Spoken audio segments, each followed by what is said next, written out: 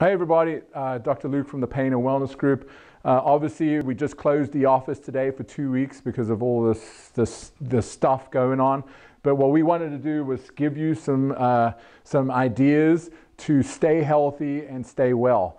So obviously it's not on here first, but down here we have exercise. Make sure you're getting outside and doing daily exercise, whether that's walking, running, lifting weights, doing some high intensity training. Make sure you're doing the exercises and stretches that we gave to you here in the office. Um, and make sure you're doing your foam rolling. Those two things are going to be key in maintaining the work that you have already done in the office. That when you get back on Monday the 30th, things will just keep rolling and kick off and we'll get you back on track way easier.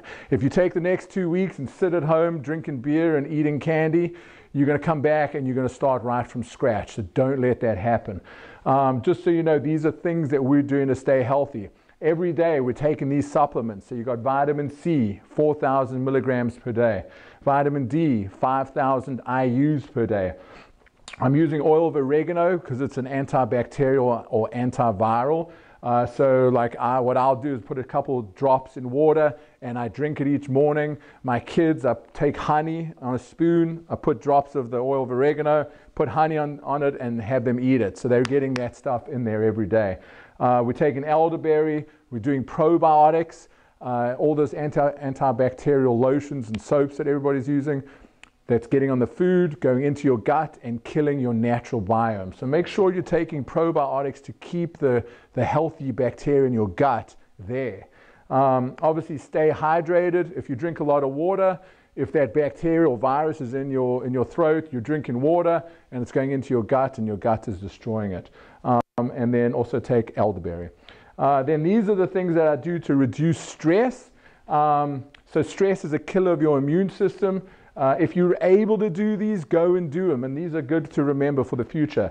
Do your salt floats. It helps detox. It's a huge detox for your body. Get those, those massages. Helps relax physical and emotional. Make sure you meditate daily. Do your daily exercise we spoke about. Get adjusted. Adjustments are proven to reduce your immune or increase your immune system, uh, increase uh, your NK cells, your white blood cells. Um, and then the last thing is that it is, uh, helps you detox, uh, kills uh, bacteria and viruses. Um, it's just really good for to boost that immune system. So these are just a few things. I thought I'd send it out there. If you need us, text us, call us, email us. Uh, but we'll see you on the 30th. Have a good one, guys. Stay safe.